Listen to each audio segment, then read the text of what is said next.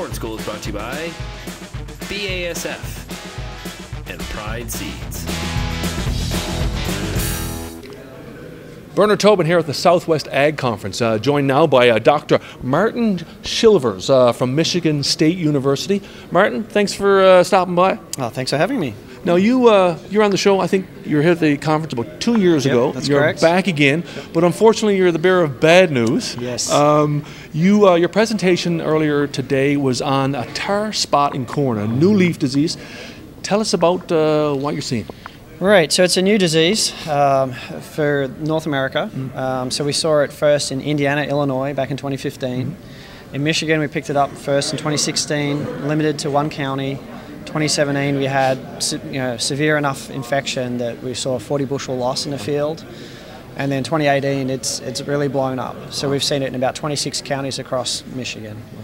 So what does it look like? Gives a paints a picture. Yeah, so the name tar spot is, is very adequate for this this disease. Um, it's it's a, a a fungal pathogen that, that is causing this disease, uh, and as the name suggests, tar spot. It looks like tar has been flecked onto the leaves. Okay, and so that's just the the fungal reproduction structure, and out of those reproductive structures, they can produce a lot of spores for infection of new plants. Yeah.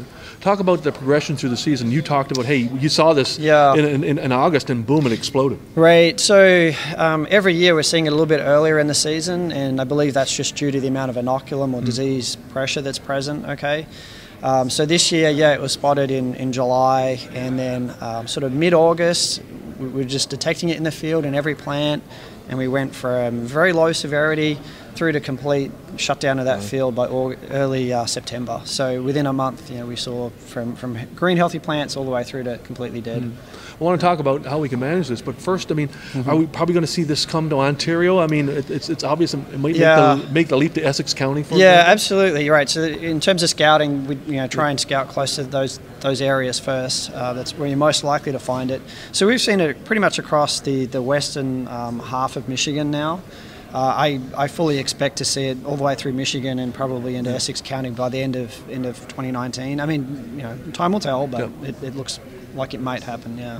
Talk about, I guess, you know, in the years ahead here, we're going to be uh, looking to manage this. Right. Uh, susceptible hybrids, how, how's the hybrid Right.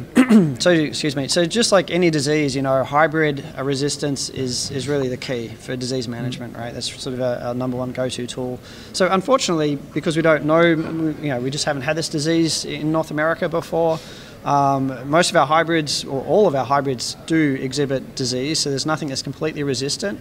We've seen differences in susceptibility, but unfortunately, even some of those that, that appear to be somewhat resistant in some trials have certainly fallen over in other locations. So it's going to be a lot of screening, trying to work uh, in terms of like identifying new sources of resistance to this disease.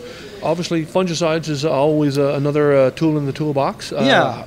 What do you know about those? Right. So in terms of fungicides, so we did conduct a fungicide trial this year to look at that, and a couple other neighbouring states have as well. Pretty much, we see the best promise out of some of those premix uh, fungicides. Um, you know, two modes of action or potentially more.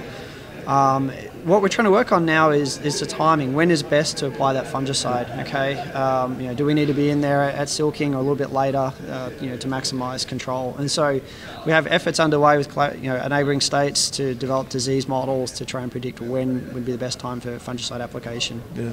And uh, I, I think uh, you'll be recommending multiple varieties and Definitely right. So yeah, trying to look forward. Um, yeah, we certainly want to be Hybrids, scouting. Yeah, hybrids. Yeah, we certainly want to be scouting, knowing where the disease is, especially in Ontario here, having trying to you know be ahead of the game that way. Um, and then yeah, as a, in terms of strategy, yeah, try and diversify hybrids, grow different hybrids. You know, it's, it's sort of a little bit unpredictable as to how they're going to respond, but don't put all your eggs in one basket. I guess would be Yeah. the, the key. Yeah. And you said, I think the final point was, you know, when when this disease knocks out a, a field, you're looking at 50 bushels. Yeah, we've seen up to 50 bushel losses, um, you know, and lodging issues as well. So the, the plants end up cannibalising the stalk, and, and they just they just fall right on over. So it also is impacting um, silage as well, right? So creating very dry uh, corn, so you know below a suitable moisture content for ensilement. So that that's also a really big issue as well.